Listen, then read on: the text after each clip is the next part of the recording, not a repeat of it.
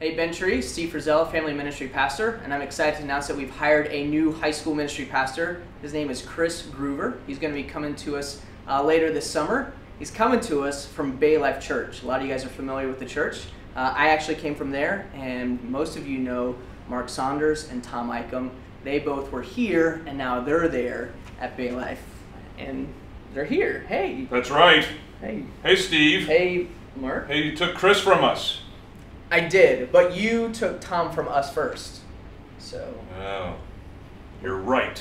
we're even. We're even, I guess. All right. Tom, we even? Almost. Almost even. Oh God! Ah! Ah! Okay, Now we're even. We're even. we're even. Even. Even.